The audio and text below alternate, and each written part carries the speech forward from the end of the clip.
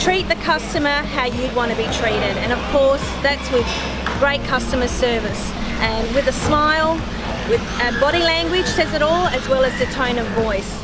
Uh, and it also remembering, if they're a regular customer, remembering what their order is.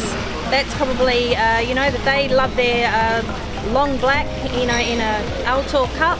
Well, you know, you should be remembering that um, as, as a staff member. And you know, half the time it's not about the product that they're coming in for, it's about the experience, the total package. So um, yeah, that's and that's what we hopefully we give here at Cibo uh, is the total package and, and of course great coffee. Yeah.